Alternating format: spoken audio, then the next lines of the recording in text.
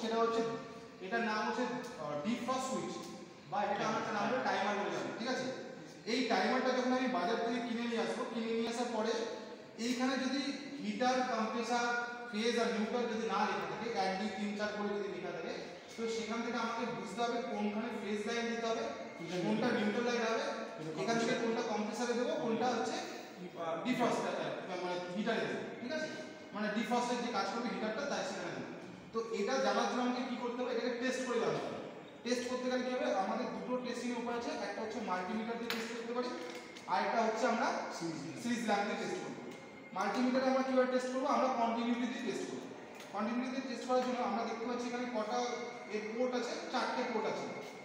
চারটে পোর্টকে রাখব দেখে প্রথমে একটা একটা নব আমরা দেবো যে কোনো একটা পোর্টে আর বাকিগুলোকে কানেক্ট করে দেবো কোনটার সাথে কানেকশন আসছে।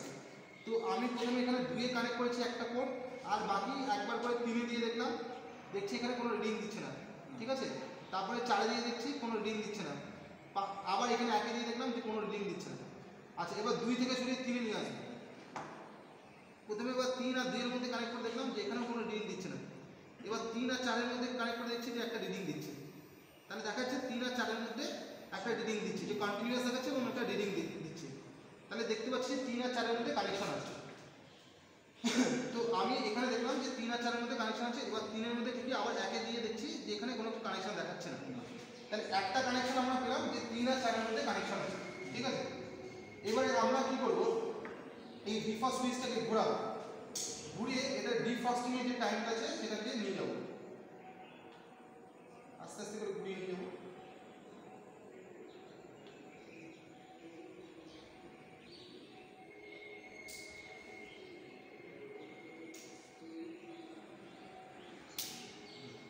এই কট করে আবার আমরা ডিফ্রস্টিং সুইচে পড়ে গেল। এবারে আবার আমরা প্রথম থেকে চেক করব প্রথমে দুইয়ে দিলাম, দুইয়ের সাথে তিনে কানেক্ট করলাম। এবার দেখছি দুই আর তিনের মধ্যে কানেকশন হয়ে গেছে। এর আগের বার দেখলাম আমরা? তিনের চারের মধ্যে কানেকশন হয়েছিল এবার দেখছি দুই আর চারে কানেকশন হচ্ছে এবার দুই আর তিনের মধ্যে কানেকশন করে দেখি। দেখছি আর হচ্ছে না। আচ্ছা। দুই আর চারের মধ্যে কানেকশন করে দেখলাম হচ্ছে না। দুই আর একের মধ্যে কানেকশন করে দেখছি হচ্ছে না। তাহলে আমি দেখছি, এটা থেকে আমি বুঝতে পারলাম যে একবার যখন আমি ডিফাস্ট বটনে দিলাম তখন দুই আর তিনের মধ্যে কানেকশন হবে। আর অন্য সময় যখন নাড়িয়ে আবার দিলাম তিন আর চারের মধ্যে কানেকশন হবে। তাহলে তিনটা থেকে দুটোর মধ্যে কানেকশন পাচ্ছে। একবার দুয়ে পাচ্ছে একবার চারে পাচ্ছে। তিনটা কমন তাহলে তিনটা হচ্ছে ফেজ লাইন তাহলে কি পেলাম ফেজ তিনটা হচ্ছে ফেজ লাইন আর বাকি কানেকশন হচ্ছে কোনটার মধ্যে? একই মধ্যে। একটার মধ্যে যেহেতু কোনো কানেকশনই পাচ্ছে না তাহলে একটা কি হয়ে গেল পুরোপুরি নিউট্রাল তাহলে ফেজ আর নিউট্রাল পেয়ে গেলাম।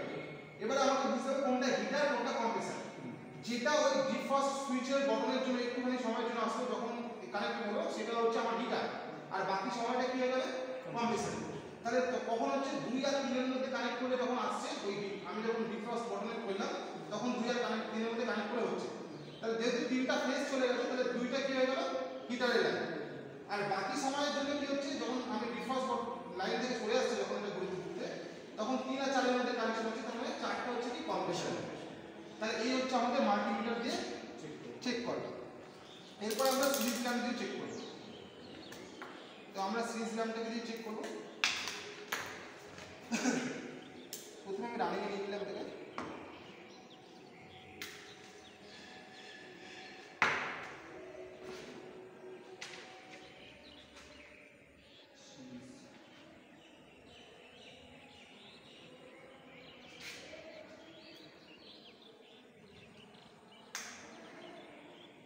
সিরিজ ল্যাম্প দিয়ে চেক করার জন্য আমি প্রথমে আগে এই যে দুইয়ের সাথে হচ্ছে না।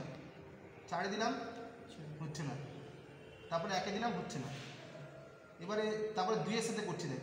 দুইয়ের সাথে চারে দিচ্ছি দেখ। দুই আর চারের মধ্যে কানেকশন আসছে। দেখছিস? আচ্ছা। সরি তিন আর চার এটা। তিন আর চারের মধ্যে কানেকশন হচ্ছে। এবার তিন আর একের মধ্যে দিলাম হচ্ছে না। তিন আর দুইয়ের মধ্যে দিলাম হচ্ছে না। ঠিক আছে? তাহলে আমি কি দেখলাম? আমার কানেকশন কোথায় কোথায় হচ্ছে? তিন আর চারের মধ্যে হচ্ছে। আমরা এটাকে ঘোরাচ্ছি। ডিফ্রস্টিং এ নিয়ে আসব। ফ্রস্টিং টাইমের জন্য নিয়ে আসব।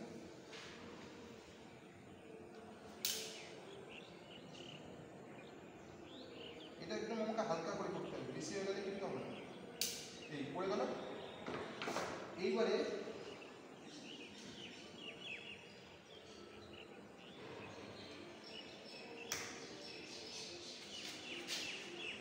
এবার দেখ আর তিনের মধ্যে দিলাম কানেকশন হচ্ছে দেখেছিস এবার দেখ, তিন আর চারে কিন্তু কানেকশন হচ্ছে না, বন্ধ হয়ে গেল দেখেছিস দুই আর একের মধ্যে কোনো কানেকশন নেই, তিন আর একের মধ্যে কানেকশন নেই, চার একের মধ্যে কোনো কানেকশন নেই।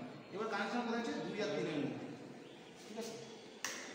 তাহলে সে একই রকম নিষ্কর্ষ আসব যে, তাহলে তিনের সাথে একবার চারের কানেকশন হচ্ছে, একবার দুইয়ের কানেকশন হচ্ছে।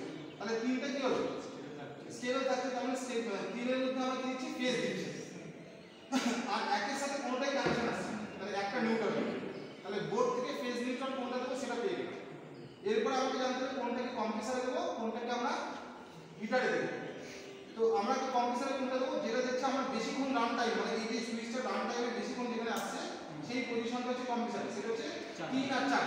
তাহলে চার নম্বরের কোডটা হবে কম্প্রেসারের জন্য। আর যে বাকি কোডটা থাকবে দুই নম্বর সেটা হচ্ছে যখন আমার ডিফ্রস্ট টাইমে যখন করছে এই সামান্য টাইমের জন্য সেখানে তখন দুই আর তিনের কানেকশন হচ্ছে তাহলে দুইটা হচ্ছে হিটারে কানেকশন এইভাবে আমরা কোনো একটা ডিফ্রস্ট সুইচ বা টাইমার যদি বাজার থেকে কিনে নিয়ে আসি, তার গায়ে যদি না লেখা থাকে, এখানে শুধু নাম্বারিং করা থাকে ওয়ান টু থ্রি ফোর করে, তাহলে আমরা এইভাবে আইডেন্টিফাই করতে পারব কোনটা ফেস কোনটা নিউট্রাল কোনটা কম্প্রেসারে যাবে, কোনটা হিটারে যাবে। ব্যাস দ্যাটস